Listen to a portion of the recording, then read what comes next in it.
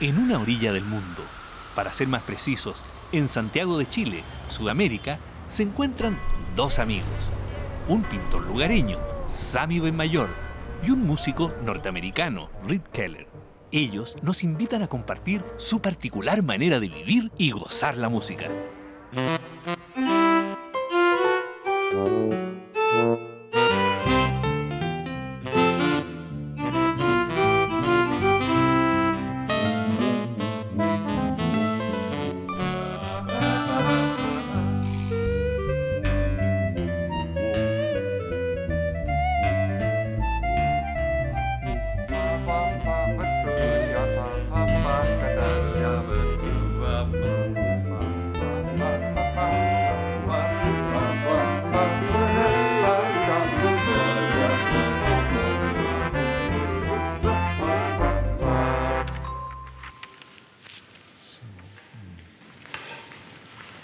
¿Cómo estás? ¿Qué andáis? Aquí ensayando. ¿Cómo estamos? Bien, bien descanso en este momento. ¿Quiénes son todos estos músicos? A esto de vista es la orquesta de Sergio Prieto, el concertino de la Filarmónica. ¿Es una orquesta que trabaja acá en el municipal? ¿Qué están haciendo? ¿Están afinando? ¿Es una afinación? Bueno, calentando los instrumentos, una cosa así. Sí, es solamente una afinación que parece realmente...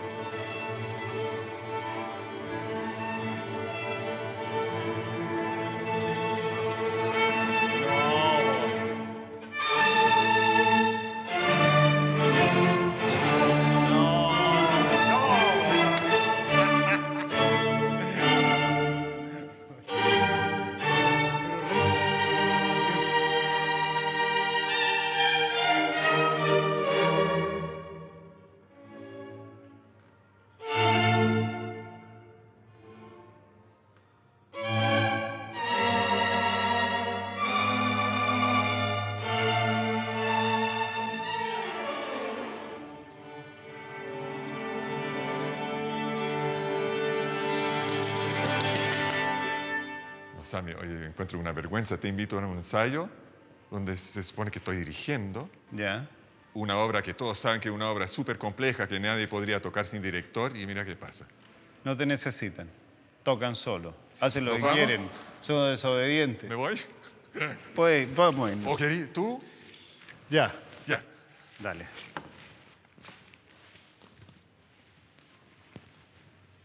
No. nunca tan pato. nu- Nunca tan. nu- Nunca tan.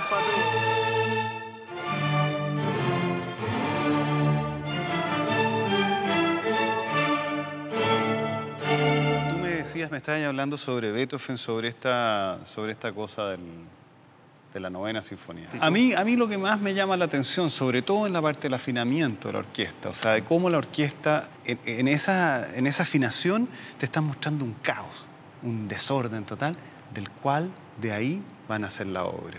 Y esa es una cuestión que hasta ahí no. Siempre la obra era como una cosa terminadita, impecable, que tú nunca veías cómo estaba hecha, de cómo se construía, ¿no? Sí, y además siempre tenía como un desarrollo más o menos lógico, que fluía, mientras que en Beethoven, o sea, fluye y de repente, en otro, Estamos- Claro, claro. que es como muy del siglo XX. Es Yo, como- yo encuentro, yo encuentro que, o como- sea, en ese sentido, de ahí que le, le hemos llamado el revolucionario, porque es como realmente el primer tipo que hace una revolución tremenda en el arte. Aunque los que le siguieron, o sea, no siguieron tanto con esa cuestión tan radical. Yo creo que fue un siglo después que Claro. brotó esa semilla, pero en forma plena.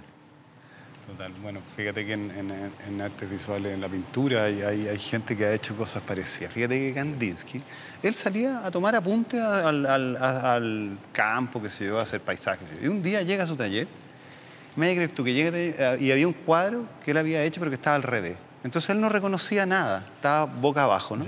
Y se da cuenta en ese momento que el cuadro, que la pintura no necesita representar nada, que las rayas, que los puntos, que las líneas son elementos en sí esenciales y que pueden funcionar solo. Lo que pasa es que la música en un principio es abstracta. Claro. Entonces, pero igual tiene como una lógica, como un flujo, digamos, de convenciones y todo eso, pero que Beethoven rompe. Pasa lo mismo en la literatura, ¿sabes? Empezando con Shakespeare, que es una cuestión así como equilibrada. When to the sessions of sweet silent thought I summon up remembrance of things past, and sigh the lack of many a thing I sought, and with old woes new wail old, old times waste. Que, que es una cosa equilibrada, que tiene como una lógica, un ritmo lógico, pero tú llegas al siglo XX y tenés cosas como Eliot, por ejemplo. I do not know much about gods, but I think that the river is a strong brown god, sullen, untamed, and intractable. Patient to some degree, at first only a friend. O sea, va de la prosa a la poesía, sí, sí, sí. igual como Beethoven va como de la música al caos. Entonces es una cuestión de que cómo podemos ordenar esta vida desordenada. Claro, claro, Y ya, ya no nos satisface simplemente trasladarnos al mundo del arte donde todo puede ser perfecto, sino que tenemos que luchar de nuevo con el desorden y hacer arte de la cosa real. Yo, yo me sorprendí mucho cuando leí un- un- una historia, un encuentro de amor entre dos personas en una novela y había un remate de vaca entre medio. Entonces él le decía, pero usted cree que no podrá salir conmigo a la noche. La vaca vale 500. O sea, había una cuestión en el relato. El arte es una cosa maravillosa, ¿no es cierto? Pero a veces se separa de la vida cotidiana. Y entonces está como en el limbo, está lejano. Entonces los artistas que han tratado de hacer durante muchos tiempos y en todas las épocas, yo creo, de acercar esa cosa a la vida cotidiana, de compenetrarla, de, que no haya esa frontera entre arte y vida. Y Marcel Duchamp es súper divertido, porque es en el año 13, agarró un urinario de cine, de esos que hay en los baños públicos, lo puso en una exposición en Nueva York y decretó que eso era una obra de arte. Y la llamó La Fuente. Dijo, esto es arte porque yo decido que sea arte, porque al cambiarlo de contexto, esa cosa tiene otras lecturas frente a, la, a, la- a donde está, digamos. ¿No? O sea, con puro pensar eso es Con arte, puro- ¿vuelve a ser arte o qué? Pero eso es lo que él dijo. Eso fue lo que él dijo en el año 13 y eso va a ser retomado después al finales del siglo XX por muchos artistas. La gente está haciendo lo mismo hoy día, parece. Claro, es como es lo mismo. Es ¿eh? como tratar de, de hacer que la gente vea algo en forma... ¿Qué? O sea, un ejercicio como de hay- percepción. es un o- ejercicio de percepción, pero también es un ejercicio de revisión, de romper con lo cotidiano. A ver, revisarnos como seres humanos. ¿Qué somos? ¿Dónde estamos? ¿Enfrentados a qué cosas estamos? ¿Me entendí? Es como un momento de pensar en nosotros, eh, como seres humanos, como especie. En músicos parece que hay uno que tiene que ver, ¿no? John Cage, el norteamericano. Ya. Pero es una cosa, pero él también hizo unos conciertos en silencio, qué sé yo, ¿no? O sea, Claro. unos conciertos donde eh, se escuchaba el reloj despertador. Bueno, ¿no? eh, no, no se escuchaba nada, o sea, Nada. cuatro O sea, minutos y 33 escuchaba segundos de silencio. gente. O sea, salía el pianista a tocar, se sentaba, ponía el reloj en el piano y pasaban cuatro quedaba. minutos 30 y después ya. Durante toda su historia, el cine era como una obra, por un cuentito terminado, el público acá, el cine allá, nosotros veíamos una ilusión. Y de repente hubo quienes, uno Godard, Truffaut. mostraban lo que estaban haciendo, ¿no? Como que, por ejemplo, ahora estamos haciendo un programa y estamos en... Y estamos pero- con la ficción de que no es. Pero, Pero que en por realidad ejemplo, lo que si de verdad los- pasa a es ver, que aquí hay, hay camarógrafos, Sí, ver. hay luces, Ahí hay está el caña, sonidista. hay caña, hay sonidista, hay señora directora, hay chachi, hay de todo. Esta cuestión del juego de las realidades en, en la novena sinfonía es una cosa bastante revolucionaria, porque Beto era un genio muy loco que tomó cuestiones que existían en forma como implícita en Haydn, en Mozart, en, su- en la gente anterior, e hizo cosas mucho más radicales. Mira, el, el scherzo de la novena empieza así. El director hace friam prom y después a otros instrumentos friam prom. Y después pasa algo acá. Alguien toca acá, pero fuera del lugar.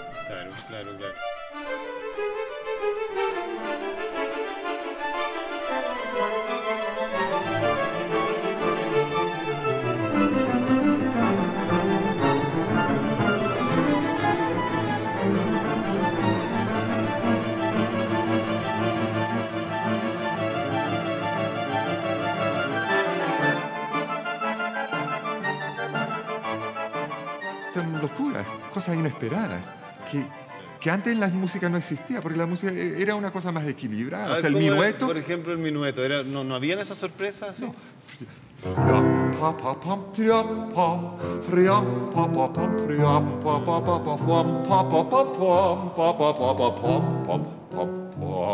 Tú decías que Haydn de repente empezó a hacer una cosa distinta. Si Haydn de repente, en vez de hacer una cosa tan equilibrada, di, bam,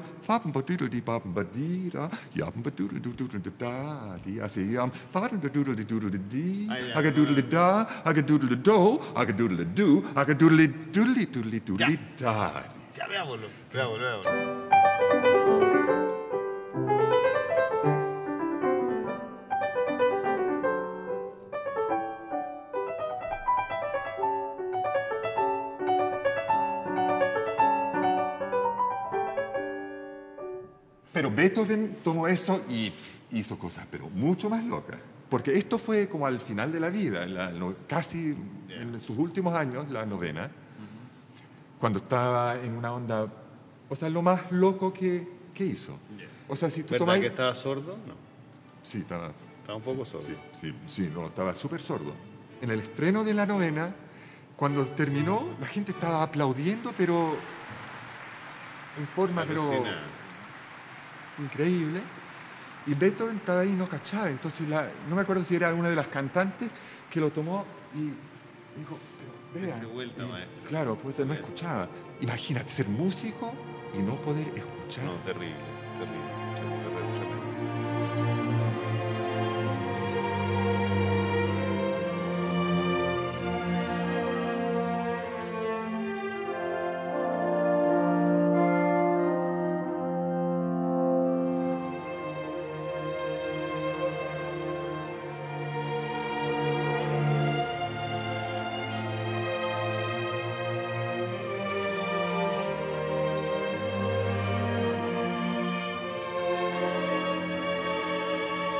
Bueno, ese es el tercer movimiento.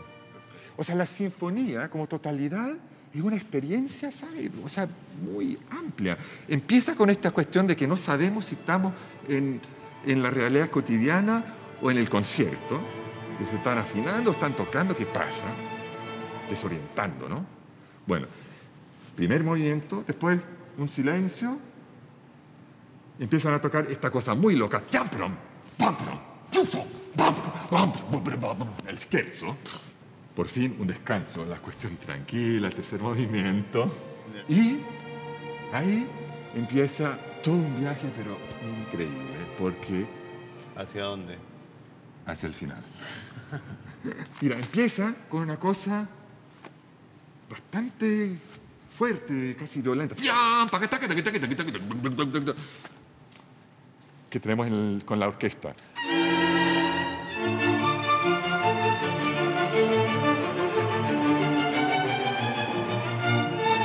De repente todo se para y los chelos y los contrabajos se largan con una cuestión solos. Se revelan los chelos.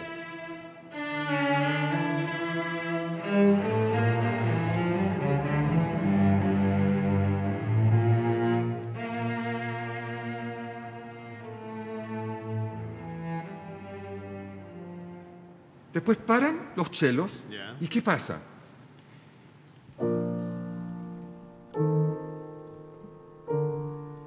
Vuelve al. El tercer movimiento, pero un fragmentito. Es como un eco. Después una cosa nueva que así como... Pero es un antecedente de lo que va a venir después. Después los chelos se meten de nuevo con, el, con los contrabajos. Es como un ejercicio de piano de un del niño.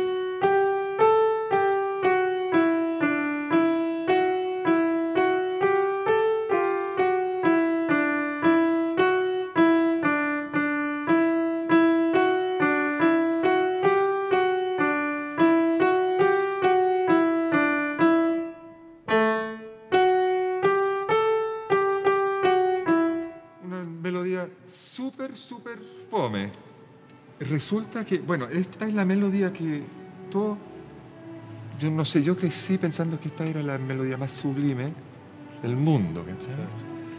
Y bueno, la es, pero la es después, o sea, porque Beethoven hace unas transformaciones con esta Pero cuestión. eso es lo bonito, que transforma lo simple en algo maravilloso.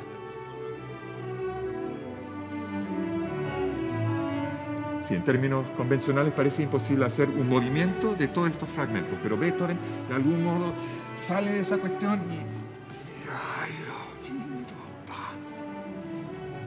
mostrándonos que, que uno tiene que tener la perseverancia, la valentía, la insistencia para hacer de lo que uno tiene en la vida algo coherente y bello. Ya, total, qué buena onda. O sea, es como un héroe, él vuelve a ser nuestro héroe. Sí, ¿Ah? sí, porque hace lo imposible.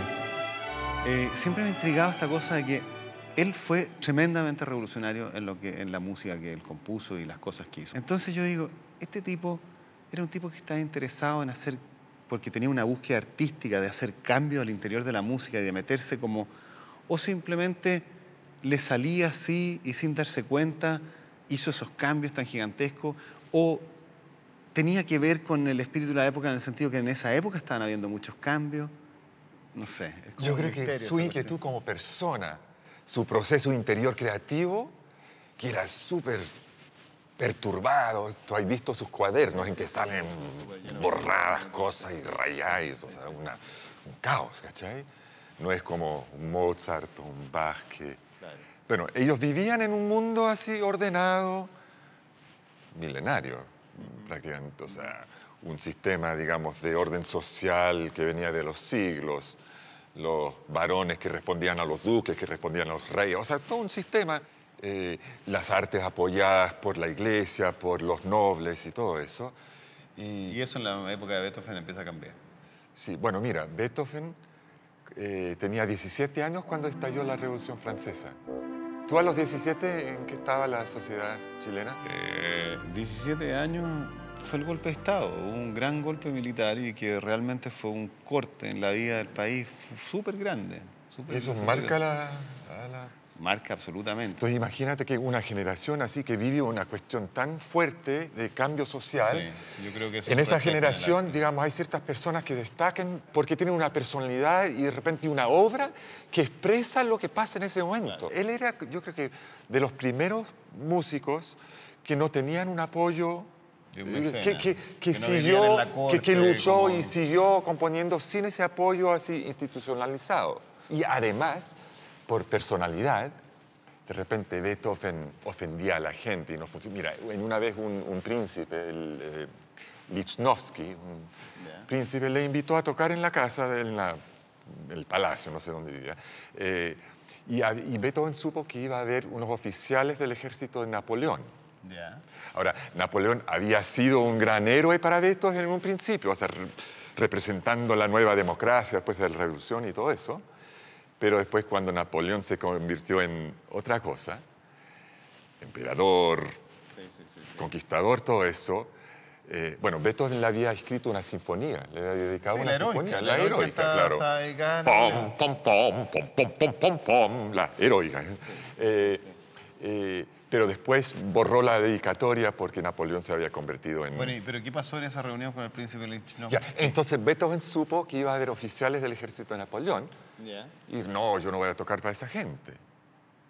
Ah, era eh, rebelde. Y el, el, príncipe insistió y Beethoven le, escribió una carta, no, no fue, y como al día siguiente le escribió una carta diciendo que, ¿cómo se le ocurre que un Beethoven, que es único, vaya a tocar para esta gente ah, que son... o sea, mire, hay, hay hartos príncipes, dijo, pero hay un solo Beethoven. Entonces, ¿tú te imaginas que este príncipe que antes apoyaba a Beethoven iba a seguir? No, lógico. Pero es curioso, fíjate que Goya, me acordé de Goya, Goya, sin embargo, no le importaba nada. Fíjate que a los españoles los invadieron los franceses, el mismo Napoleón, en esta misma época. Eh, sin embargo, Goya sigue pintando para la corte de Pepe Botella, porque Pepe Botella era el hermano, tú sabes, de, Napoleón, que lo convirtieron en rey de España. ¿Por qué se dice Pepe Botella? Porque era curado. Pepe Botella era caído al frasco y así le decían. Y Goya, que estaba siempre protegido por las duquesas de Alba y no sé qué, siguió pintando, ahí cagado la risa, perdón, muerto la risa. Porque el tipo no podía parar de trabajar, entonces no estaba para consideraciones, ¿me entendís? Bueno, Menores. Tampoco, o sea, Tampoco, nunca, o sea, nunca- dejó de trabajar. Es que son pero- dos pero- reacciones diversas, ¿te fijas? Son dos reacciones. El tipo Ah, ya, ya. no le importaba nada, o sea, simplemente hacía su cosa, qué sé yo. Eh, Son dos cosas. Claro, no, Beethoven no era así. Beethoven tenía igual una inquietud. O sea, esta- ok. estas cuestiones que él vivió personalmente frente a la, a la aristocracia. Sí, sí, no, pero Goya también, porque por ejemplo, acuérdate que hay el cuadro, el gran cuadro, el fusilamiento de Mayo, donde el tipo hace una obra de denuncia, en el fondo, una injusticia que se comete, que el tipo la pinta, la denuncia, la muestra. O sea, también, también existe, o sea, también existe como esa inquietud por los fenómenos sociales que en ese momento se nota, ¿me entendés? Tanto en Goya como en Beethoven, como, que son todos de la misma época, que hay, que está habiendo una revolución, que está habiendo un gran cambio en el mundo, o sea, que está habiendo una cuestión que va a venir la democracia, Después de siglos de... Claro. Y la revolución va a ser el, el gran cambio en el fondo contra la injusticia, ¿cachai? Contra la injusticia feroz que se vivía en esa época, contra el, contra el orden establecido que en ese momento era que toda la población estaba fuera de todo. Mientras la gente, los reyes vivían en Versalles tan elegantes. O sea, la gente, la gente normal estaba fuera del sistema político y estaba fuera de los cuadros. ¿no? Estaban No fuera de los, no, existían, aparecían ni en los cuadros ni en ninguna parte. Oh Nicht diese Töne.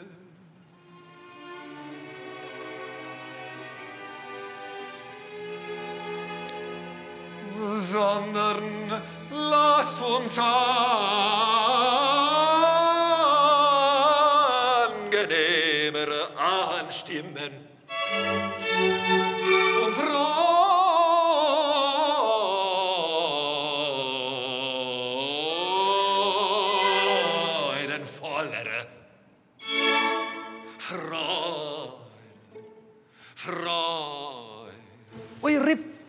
una cosa.